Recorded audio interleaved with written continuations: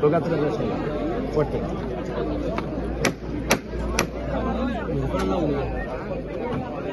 Fuera del trabajo, escucharme. Acaba de tocar el martillo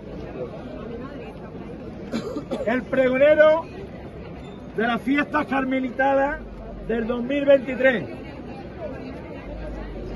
Nuestro hermano don Luis Martín, cofrade por excelencia. Con su pregón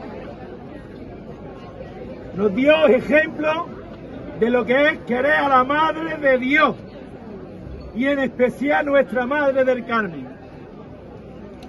Por él, para que nuestra Madre lo proteja a ella a su familia. Todo el mundo al trabajo. Vamos a llevar al cielo a la Madre de Dios. Todos por igual, marinero. ¡A este!